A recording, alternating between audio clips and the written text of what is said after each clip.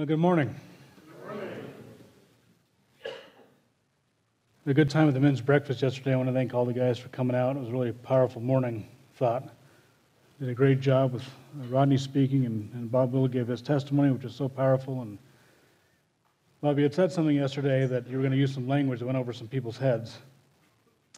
Um, you're like 9 2, man. Everything, literally everything you say goes over my head. So, thank you for that yesterday. That was my best shot at a short joke, sorry. All right. So, if you would, please open up your Bibles to Genesis 22. Genesis 22.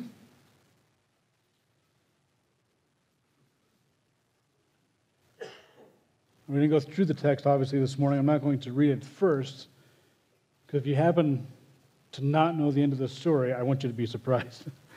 For those of you who do, I want you to forget that you know the end of the story, okay? We're going to build some drama here this morning. This is the sacrifice of Isaac, or as the Jews to this day call it, the binding of Isaac.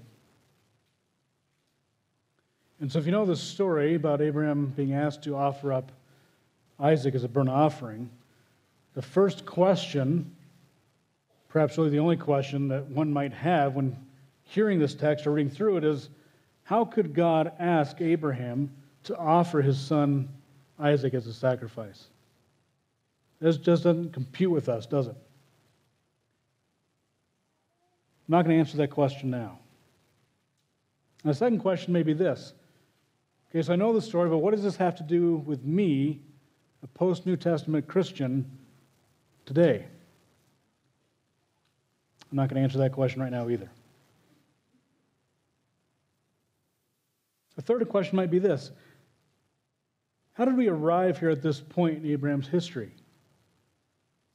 That question also, I'm just kidding, we'll, we'll answer that one now. We're going to start with that. So, the Lord just saying for this morning, for Genesis 22, really is found several chapters back, ultimately in Genesis 12, but mainly in Genesis 17, which is that great chapter on the covenant that God makes with Abram. He says this Behold, my covenant is with you, and you shall be the father of a multitude of nations. No longer shall your name, shall your name be called Abram, but your name shall be Abraham. For I made you the father of a multitude of nations. I will make you exceedingly fruitful, and I will make you into nations, and kings shall come from you. And I will establish my covenant between me and you and your offspring. Keep that in mind after you throughout their generations for an everlasting covenant, to be God to you and to your offspring after you. As for Sarai, your wife, you shall not call her name Sarai, but Sarah shall be her name. And I will bless her. And moreover, I will give her a son. I will bless her, and she, and she shall become nations.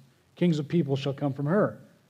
Then Abraham fell on his face and laughed and said to himself, Shall a child be born to a man who is a hundred years old? Legitimate question. Shall Sarah, who is 90 years old, bear a child? Abraham said to God, Oh, that Ishmael might live before you. And God said, No.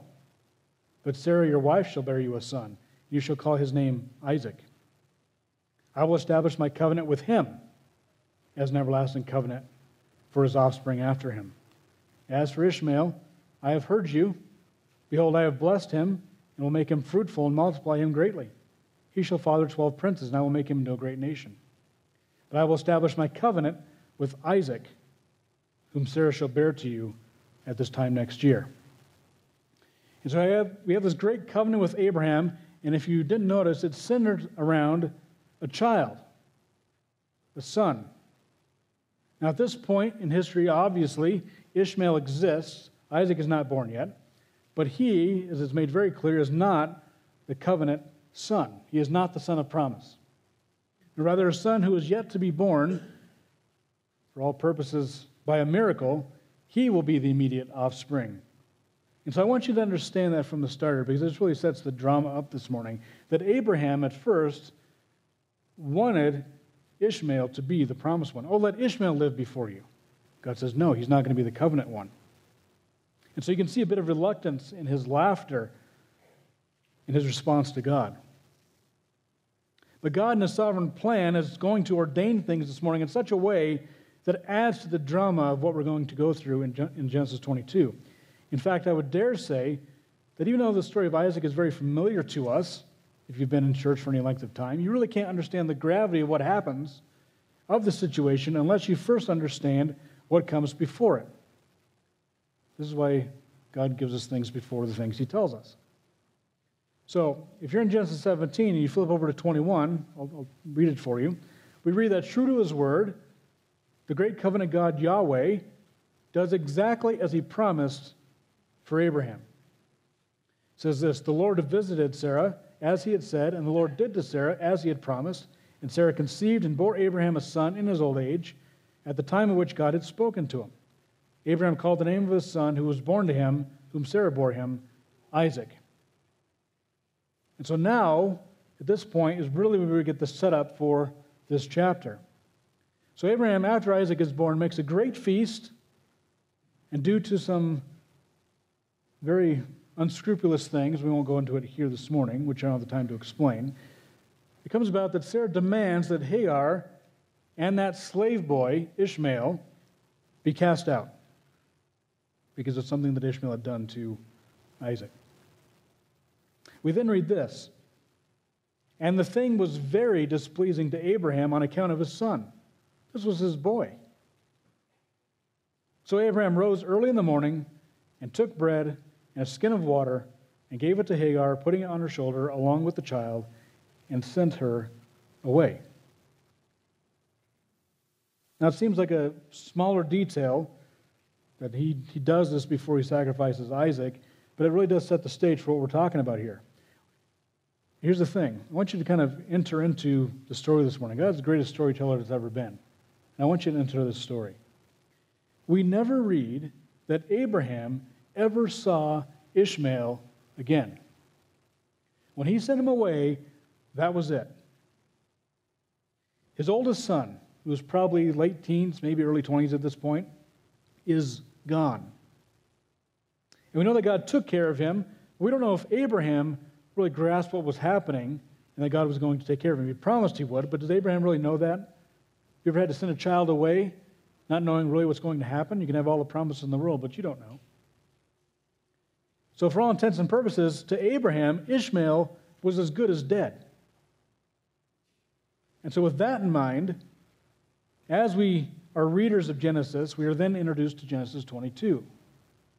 And although years have passed between the last verse of 21 and the first verse of 22, at least a decade, maybe a little bit more, the narrator builds the drama that we're going through this morning immediately after the previous drama of Ishmael being sent away. So I want you to understand that. After these things, it says, God tested Abraham and said to him, Abraham. And he said, Here I am. He said, Take your son, your only son, Isaac, whom you love, and go to the land of Moriah and offer him there as a burnt offering on one of the mountains of which I shall tell you.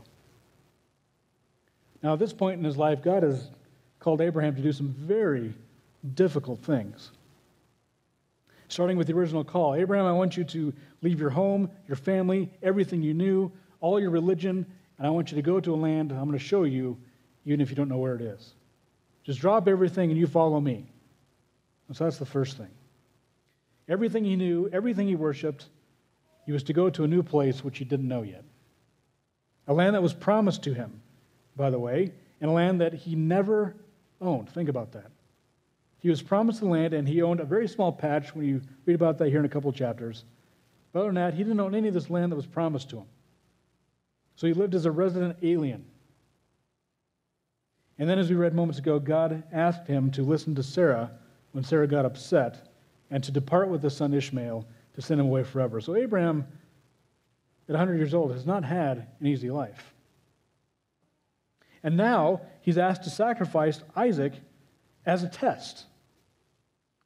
It says, After these things, God tested Abraham.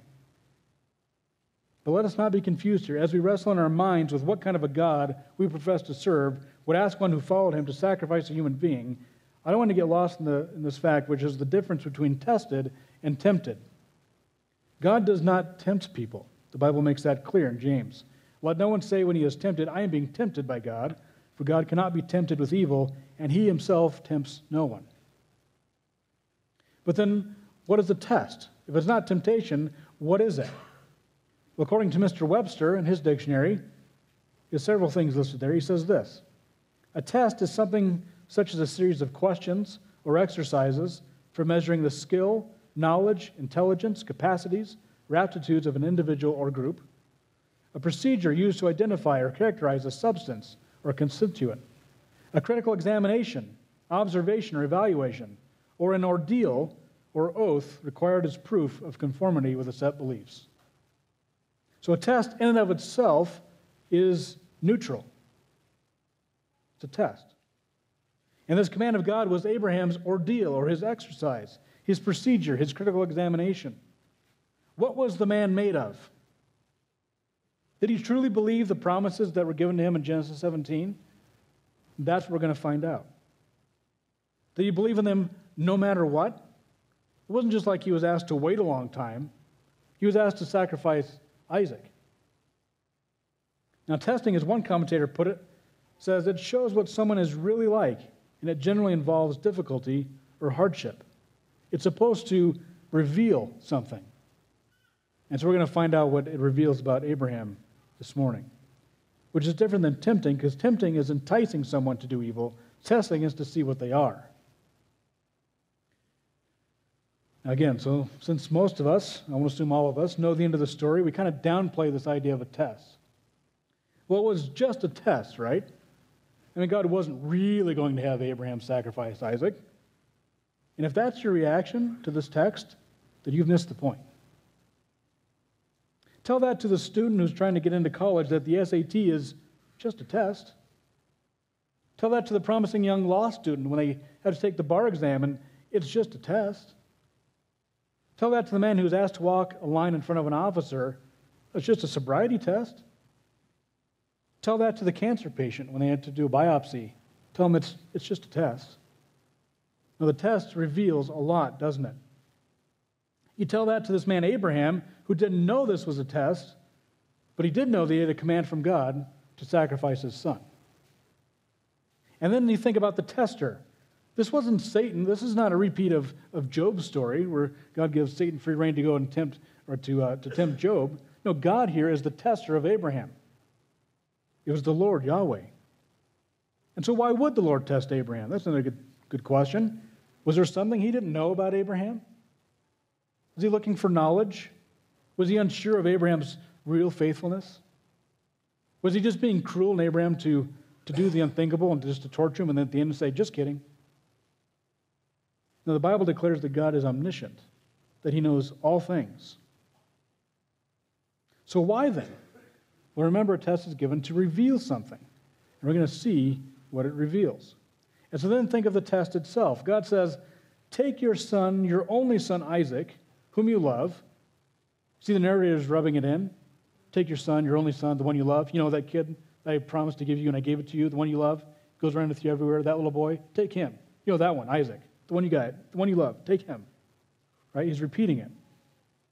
And this is exactly why God ordained the history the way that He did, like I said this morning. The sending away of Ishmael had to take place before this event so that those words could be used in, in a true manner. And what piercing words there must have been to Abraham. Take your son, singular. Now he only has one because Ishmael's gone. Your only son, Isaac. It's repeated to emphasize the point to the reader your son, your only son, Isaac. And then that third description, whom you love, to establish that relationship even more so. It wasn't like Abraham didn't like the kid, right? God tells him, the one you love, Isaac, take him. The point is being, uh, the point is being made that this is Abraham's beloved son, the son that Abraham was promised, by the way, by God, whom he loved, and then the use of his name when God says, take Isaac reminds him of what Abraham or what Isaac's name meant, right? Laughter. So take your laughter, take your joy, the one I gave you, and go sacrifice him on a mountain that I'm going to show you. Now, at my job, I'm a big believer in what we call breadcrumbs. When I train people, we do this thing called breadcrumbs, which is you leave little bits of information here and there so that a year later, when you don't remember at all what you did and why you did it, you're able to find it and track it down. Right? You take this number over here, you put it over there, you take this number from this one, go put it over there. We work with lots of different systems. The only way we can keep sense of all the thing, of all those things is if you have a way to backtrack and find out uh, where you're going to go with it, right? And so God in the Bible, I think, is an amazing, amazing thing. He has left breadcrumbs for us. And I'm going to give them to you for your notes. If you're a note taking person, I'm going to give you the breadcrumbs, then we'll t- come back like Nancy Drew at the end and solve the mystery, okay? So here's the first one breadcrumb number one the only son who was loved.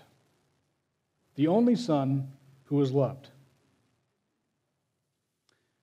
At this point, there was no one else. Isaac, at this point, is it. At this point, Abraham's not a Franco. He doesn't have you know, 14 other kids to, to use, right? At least not at this point in his life.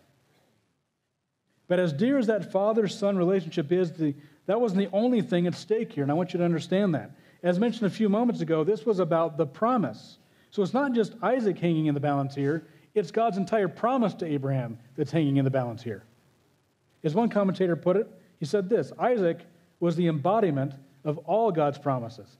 Isaac was the focal point of all Abraham's hopes.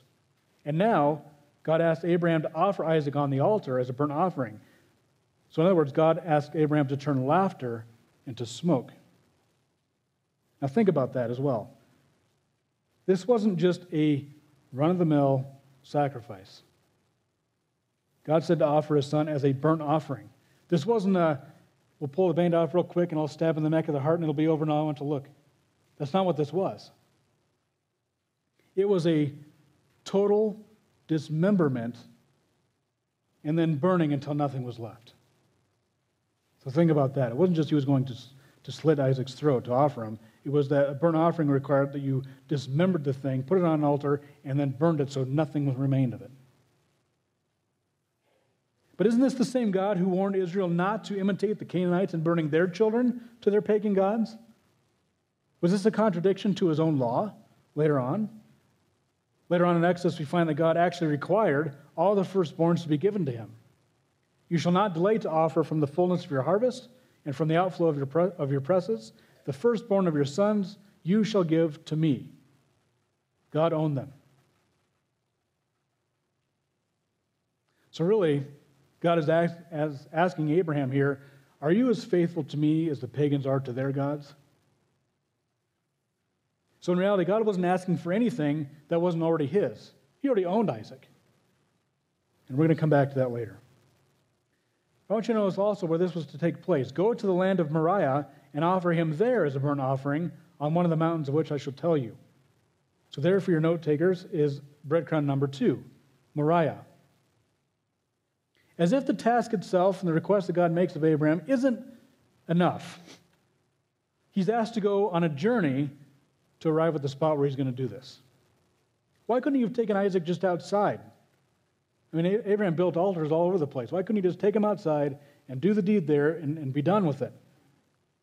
No, see, that was part of the test. Abraham was going to have to think about it. And the longer you wait on something, this is true for me, the harder it is to do. If you have a task you need to do and you just don't want to do it and you just wait, it becomes harder because it's in your mind and you can't get away from it. It's like, ah. And so Abraham has to wait now. I want to come back in a minute to how long that journey was. I want to point out something else here. So the next verse says this So Abraham rose early in the morning, saddled his donkey, and took two of his young men with him and his son Isaac, and he cut the wood for the burnt offering and arose and went to the place of which God had told him. Notice here that Abraham's obedience is immediate and absolute. He doesn't wait a week saying, I got to finish some things up, God. I'll get to it. No, the next morning he rises early to start the preparations. He doesn't pro, uh, procrastinate. He rises early in the morning and he makes the necessary preparations and he goes. The same thing we read about the last difficult task that God had for him when he sent Ishmael away. That too we read. So Abraham rose early in the morning and took bread and a skin of water and gave it to Hagar and sent them away. So Abraham's obedience is immediate. As Robin Conwell used to, to, to put it, and I, I like this saying delayed obedience is disobedience. But we don't see that here with Abraham. No, this man of faith is resolute. He doesn't linger. He rises early. He does what needs to be done. So, such obedience found in you? You're not Abraham, but you're still a servant who needs to obey. The other thing, notice that he doesn't complain. He doesn't argue with God. He doesn't talk back to him. He doesn't question why. And that's really strange when you think about it, because just a few chapters prior, when it came to Sodom and Gomorrah, Abraham had this conversation with God. Don't do it, God. If there's even 50, will you do it?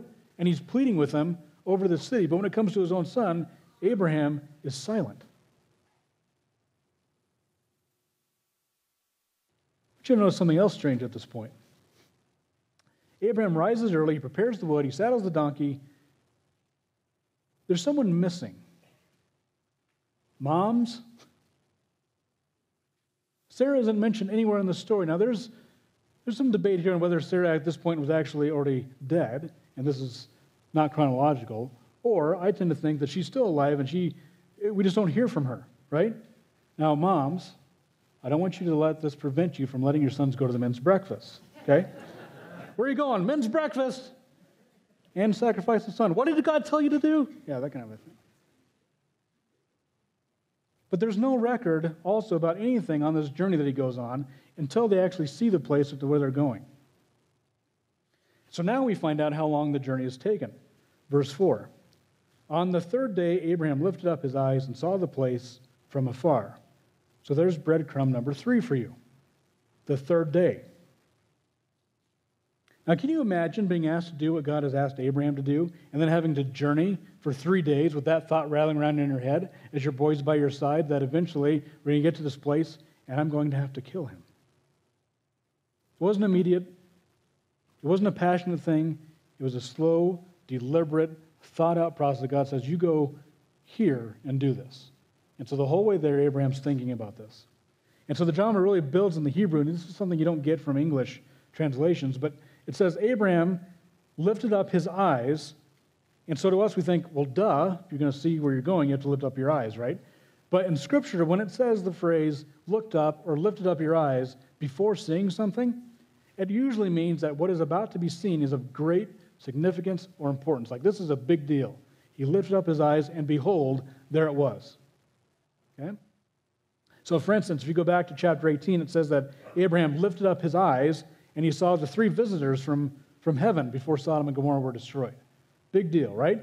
Or later when uh, Jacob says that he lifts up his eyes and behold, and he saw Esau coming, like, oh no, right? Esau's coming after me. So anytime they lift up their eyes and they see, it means it's a big deal. And so imagine then, if you will, Abraham is contemplating this, this request from the Lord for three days as they draw near to the place. And yet, nearer still, he lifts up his eyes and he sees the place from afar, this mountain where his boy is going to be killed by his hand. So think of, oh, was a dumb analogy, but think of like Frodo and Sam, right? They look up and they see Mount Doom and Mordor. Like, oh, that's what it's experiencing. Not that I'm comparing Abraham to Frodo and Sam. Okay, don't email me about that. But so as soon as Abraham sees the place, this mountain that God points him to, we read this. Then Abraham said to his young men, Stay here with the donkey. I and the boy will go over there and worship and come again to you. Notice he says worship. Now, they probably had a clue because he had wood and he had the fire and he had the knife, what was happening. But he says, We're going to go worship. He doesn't say, I'm going to go burn my son and dismember him and then I'll be back. Right? So, this is either a small white lie or it's a demonstration of Abraham's faith. And I tend to think it's the latter. He doesn't say, I will come again to you, but it's plural. He says, I and the boy will go over and come again to you, meaning both of them. Would they? Well, Hebrews 11 says this. We have a little bit of insight into what Abraham is thinking, a little bit. It says this By faith, Abraham, when he was tested, offered up Isaac, and he who had received the promises was in the act of offering up his only son, of whom it was said, Through Isaac shall your offspring be named. He considered that God was able to, even to raise him from the dead. So he didn't know how, he didn't know what, but he knew that God could do it. That somehow him and Isaac were going to return. Maybe he meant, I'll be carrying what's left of my boy to you. We don't know. But at least with Hebrews 11, we have some idea that God was going to make this happen. And so I want you to know that it also took nothing away from this test, even if Abraham believed this. I mean, think about it if it was you standing over your own child and you know that God can bring people back from the dead, but you still are supposed to slit his throat. That wouldn't make you feel any better. So, no, the young men now must stay behind because now Abraham is going to go up on a mountain as a priest and offer a sacrifice. They're going to go to holy ground. So the young men must stay behind. So Abraham took the wood of the burnt offering and laid it on Isaac his son, and he took in his hand the fire and the knife, and so they both of them went together. There's breadcrumb number four wood laid on the son. Now, we don't know exactly how old Isaac is at this point, but most commentators think it's somewhere between 10 and 15, somewhere in there. Old enough, at least, for the journey, for conversations we're going to see in a minute, and strong enough to carry a load of wood, you know, for the offering even though he was unaware that he was the victim. And in a Jewish midrash, which is a commentary on the scriptures, there's this comment that Isaac, with the wood on his back, is like a condemned man carrying his own instrument of death. And so, in fact, what we are witnessing, according to another commentator, is a gem of Old Testament literary art. It says, So they both of them, both of them, together they went suggesting that both their isolation, both of them separately, and their companionship together, they alone climb up this mountainside. And so as they're climbing, you don't know how long it's taking place, but then we read this Isaac said to his father, My father. He said, Here I am, my son. He said, Behold, the fire and the wood, but where is the lamb for the burnt offering? Awkward. Abraham said, God will provide for himself the lamb for a burnt offering, my son. And then that's the end of the conversation. And that's breadcrumb number five. God will provide for himself the lamb. And so here again, we see Abraham's faith. God had given him a promise, and God would provide the fulfillment of that promise, even if it didn't make sense in the moment. And so he had to, to, to balance this. He had to harmonize the command to sacrifice Isaac with the promise that in, I, in, in Isaac his offspring would be reckoned. So he had to balance these two things. I have to kill Isaac, but in Isaac I get the promise. And you had to, had to balance both of them. And so that's the end of that brief conversation. And then we read again that phrase, so they both of them went together. He doesn't say anything more, at least that's recorded. Neither does Abraham. So we don't know what Isaac is thinking either. Does he see through this charade that, oh, maybe it's me? Does he just trust what his dad's telling him that eventually somehow this will work out? We don't know. But at this point, the narrative slows down again. So if you're reading, it's kind of fast paced, and then it has a couple of slow spots, and here's one of them. So when they came to the place of which God had showed them, Abraham built the altar there and laid the wood in order and bound Isaac his son and laid him on the altar on top of the wood. Now we know this as the, the sacrifice of Isaac. That's how we know the story. Again, I mentioned before, the Jews call this the Akedah, or the binding of Isaac, from this phrase that he was bound. Now, there is no record that Isaac fought back. We don't know how it transpired that it was bound, that if Abraham said, Get on the wood and I'll bind you up, or don't worry about it. I know it seems weird, but it'll be okay. We don't know. But the sacrifice was prepared, the victim was made ready. And this was, it was Abraham's faith in action. So it's one thing to proclaim your faith, it's another thing to demonstrate it, isn't it? And this is the point of what James says. Do you want to be shown, you foolish person, that faith apart from works is useless? And at this point, when Isaac is laid on the altar, that's what James claims Abraham, or that's when he claims Abraham was justified. James continues here. He says, Was not Abraham our father justified by works when he offered up his son Isaac on the altar. So it's at this point where James claims that Abraham was justified. You see that faith was active along with his works, and faith was completed by his works, and the scripture was fulfilled that says, Abraham believed God, and it was counted to him as righteousness, and he was called the friend of God. So again, I think we're so familiar with that verse, we kind of forget the context. It says Abraham believed God, but believed him about what? that God would deliver on this promise that he would still have this offspring in the midst of what he was doing. that belief was counted to him as righteousness, but it was proved out by his works. So it was credited to him as righteousness, but until he laid Isaac on the altar, that's when it was demonstrated. This is exactly what the test was supposed to reveal. Even when God commanded the unthinkable, Abraham obeyed. Going back to our narrative. There is the boy laid on the wood, on the altar. And again, I was thinking, can you imagine being the Israelites reading this story for the first time or hearing it? What, are they, what were they thinking? And they knew that their entire existence, their entire nation, depended on the promise that God had made to Abraham. And here's the subject of that promise, bound and about ready to be offered up as a sacrifice. And yet, here they are as a nation. They're all standing there. So, what happened? Did God bring Isaac back from the dead? Did Abraham refuse to go through with it and Isaac lived? What happened? So, verse 10 Then Abraham reached out his hand and took the knife to slaughter his son. So, you see the tension is building here? It's thick. So thick, you might cut it with a knife. That was bad, sorry. But Isaac is seconds away from being slaughtered. His life hangs in the balance.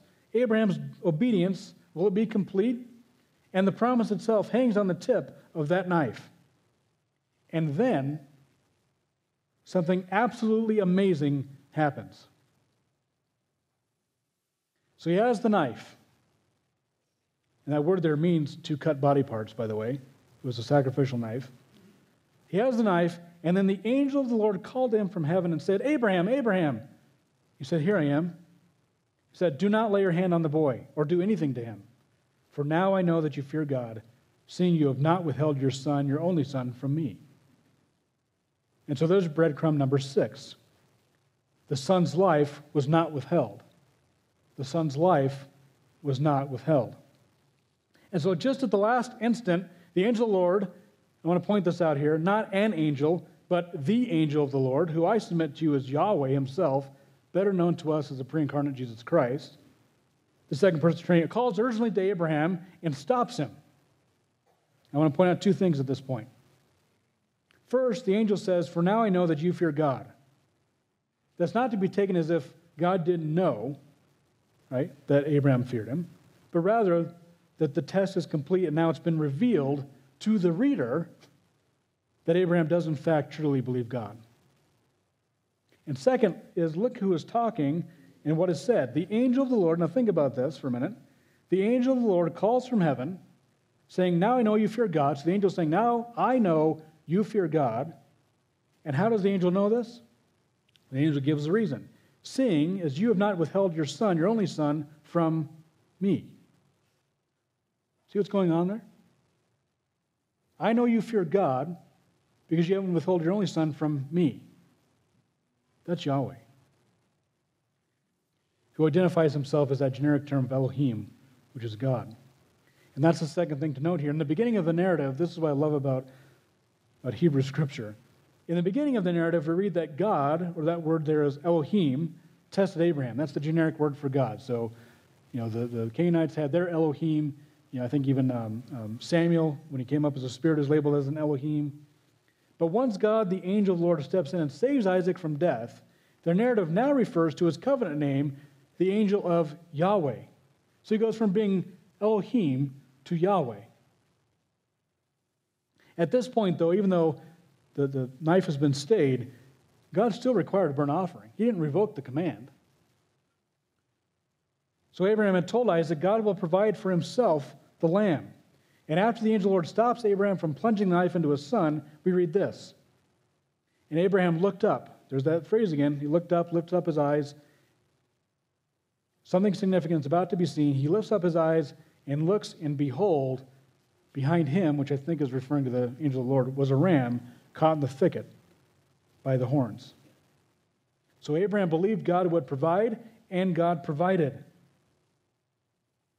And because God provided, Isaac gets to live.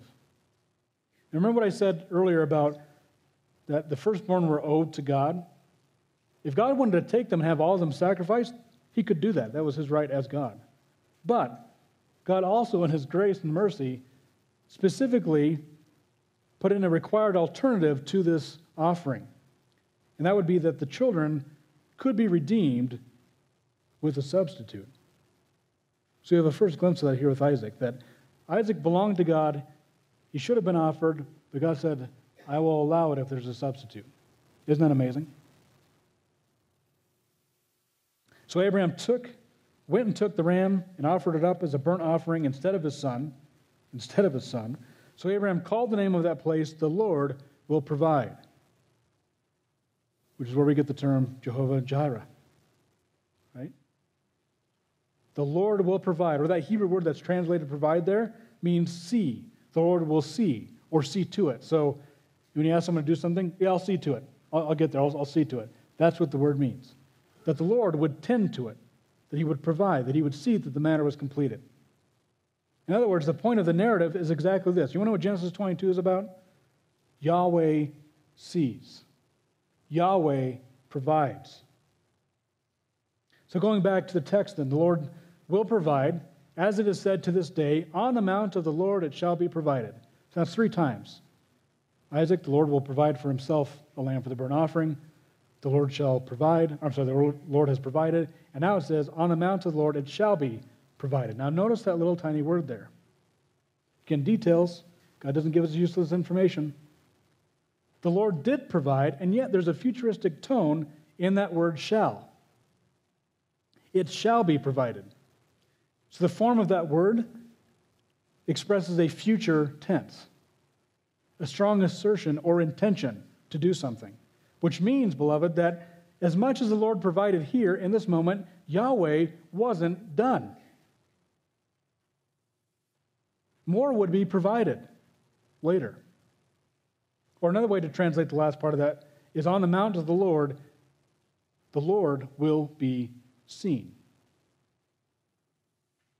So, even so, the Lord is not yet done with Abraham here in this narrative. So, verse 15 And the angel of the Lord called to Abraham a second time from heaven and said, By myself I have sworn, I have sworn, declares the Lord, because you have done this and not withheld your, your son, your only son, I will surely bless you, and I will surely multiply your offspring as the stars of heaven and as the sand is on the seashore, and your offspring shall possess the gate of his enemies.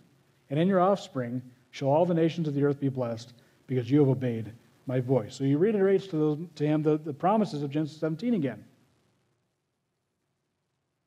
That the, the promise of the offspring, they will surely be multiplied. But then he says something interesting here. I don't know if you caught that or not. He said, And your offspring shall possess the gate of his enemies.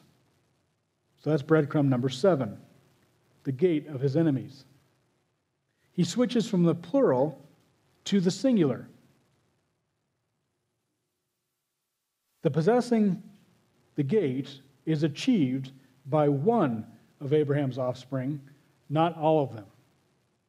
An important distinction is made here between the patriarch's many descendants and a special future descendant who will come from this unique family line. That's what's being said in this passage here. Meaning, yes, Abraham will have lots of kids, lots of offspring, but there's one in particular that's going to be distinguished from the rest, so stay tuned. So, after all this drama, the tension, the test, the reassurance of the promise, Isaac is spared, and it is shown that the Lord has indeed provided, true to his word. Now, Abraham is able to go back and be true to his word to the young men, as we read this. So, Abraham returned to his young men, and they arose and went together to Beersheba, and Abraham lived at Beersheba. So, he told them, We'll come back to you again. And they did. So, what's the point of this chapter? Well, mainly, it's Jehovah Jireh. The Lord provides, the Lord will see. But now we get to go to the breadcrumbs. What other story is the greatest storyteller relaying to us through this chapter? So now we get to follow the trail. You excited? Breadcrumb number one the Son, the only Son who was loved. Well, we find this picked up in the Gospels at the baptism of Jesus. And we read, Behold, a voice from heaven said, this is my beloved Son, with whom I am well pleased. And of course, John 3.16. For God so loved the world that he gave his only Son, that whoever believes in him should not perish, but have eternal life. So that's the breadcrumb number one. Number two, I said that breadcrumb was Moriah. Well, it turns out there's a reason that God chose that mountain and that region for Abraham to do this. Second Chronicles 3:1 says this. Then Solomon began to build the house of the Lord in Jerusalem on Mount Moriah, where the Lord had appeared to David his father. So, what mountain did, did God choose? The temple site. Think of that. 2,000 years, he picks the temple site. And that's where Jesus was crucified. Breadcrumb number three was the third day. On the third day, Abraham lifted up his eyes. He saw the place from afar. And on that third day, according to the verse we read from Hebrews earlier, Abraham, at least figuratively speaking, says the author of Hebrews, received Isaac back from the dead. Sound familiar? Well, Jesus is opening up the scriptures to disciples, and he says this in Luke Thus it is written that the Christ should suffer and on the third day rise from the dead. So, breadcrumb number four. The wood was laid on Isaac. As they ascended the mountain, Isaac is carrying the wood that he's going to be sacrificed on. And John records for us this that they took Jesus and he went out bearing his own cross to the place called the place of a skull. Breadcrumb number five was the phrase that Abraham used in answering Isaac that God would provide for himself a lamb for the sacrifice. John the Baptist recognized this immediately. He said this The next day he saw Jesus coming toward him, and he said, Behold, the Lamb of God, meaning the lamb that God provided, who takes away the sin of the world. And Paul then picks this up later on. He says, For Christ, our Passover lamb, has been sacrificed. Breadcrumb number six the son's life was not withheld. The son's life was not withheld. That's what the angel Lord told Abraham You have not withheld your only son from me, and neither did our heavenly Father. For in Romans we read this He did not spare his own son, but gave him up for us all. And finally, breadcrumb number seven the gates of the enemy says that he, Abraham's offspring, would possess the gate of his enemies. And remember, I said that one of his offspring would do this, not all of them. Now, Paul informs us in Galatians about who that offspring is. Spoiler, it's Jesus. This is what Paul says. Now, the promises were made to Abraham and his offspring. It does not say to offsprings, referring to many, but referring to one, and to your offspring, who is Christ. And then listen to what this offspring says in the Gospels when he's talking to Peter. He says, Peter, on this rock I will build my church, and the gates of hell will not prevail. He's going to own the gate of his enemies. So I want to go back to the very beginning of the sermon. I put out that question How could God ask Abraham to offer his son as a sacrifice? Even knowing what we do about how it turned out, how could God how could a good God ask such a thing of a parent? Such an unthinkable thing.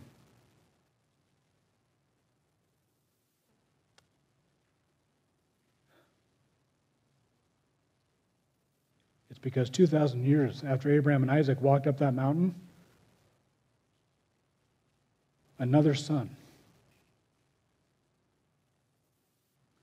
an only begotten son who was loved by his father, would walk up that same mountain.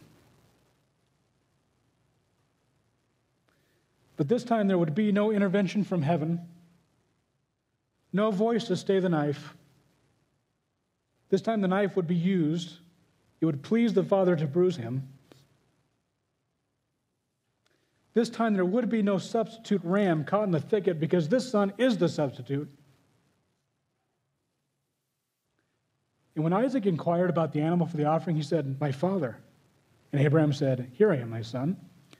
But for this son, when he cried out to his father, there was no answer. The only response was silence, followed by his own cry, Why have you forsaken me? So, how could God, a good God, ask a father to sacrifice his only son? Well, the answer is this because he asked no more of Abraham than he did himself. So, this then answers the second question that was asked what does this have to do with me as a post New Testament Christian? Everything. The Lord provided a ram that Isaac would live, God provided a son that we might live. There's a blessed substitute. Is he yours? The Lord has provided. The Lord has seen to it. Believe it. So that's the end of the story in Genesis 22, but you'll notice that it isn't the end of the chapter. You notice that? If you're in Genesis 22, that's not where the chapter ends. After all that went on, all this drama, the intensity, the wrestling with the questions, we get one more piece of information there that seems so small. I'm a fan of the of, of Marvel Universe, right? And so if you've been to a Marvel movie, you know that at the very end, they always do a post credit scene, which is supposed to be kind of like this wow thing about what's coming next right? And this is what we get here in Genesis 22.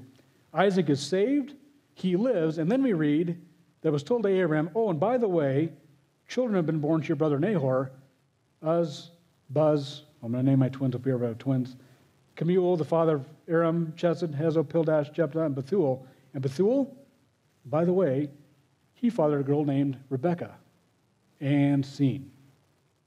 Isaac is now the focal point of what's going forth in Genesis, and we get a hint of Rebecca because obviously that's going to become Isaac's wife, which doesn't happen if Isaac doesn't live. And so, one last thing, so indulge me here, we're almost done. This narrative also, I believe, solves one more mystery in Scripture, at least that I've always had. We have in the New Testament that familiar verse in which Jesus says that Abraham rejoiced that he would see my day. He saw it, was glad. So the question that is asked is when did Abraham see this? Here's Spurgeon's answer. I think I was going to get one in, didn't you? I tend to agree with him. When did Abraham see Christ? On top of Moriah, when his own son was on the wood and his own hand was lifted up. He must have seen the Son of God and the uplifted hand of God offering the great sacrifice. When he took the ram from the thicket and so saved the life of his son, how clearly he must have understood that blessed doctrine of substitution, which is the very center of the gospel. I have no other hope than this, nor can I conceive of anything else that would be good news to me but the fact that Christ died for our sins according to the Scriptures, that there was offered another life instead of mine through which I live. By a life I do not live, and by a death I do not die. I am saved. So it was with Isaac when he was saved by the ram taken in the thicket it was worthwhile for Abraham thus to be tested to have a view of Christ. So may our tests and trials be of that same worthiness that we might get a view, a glimpse of Jesus Christ, knowing that the Lord has provided. Amen. Let's pray. Father, we are humbled by the way you've put Scripture together, we are humbled by what you asked Abraham to do, knowing it was a, a means to reveal your son to us.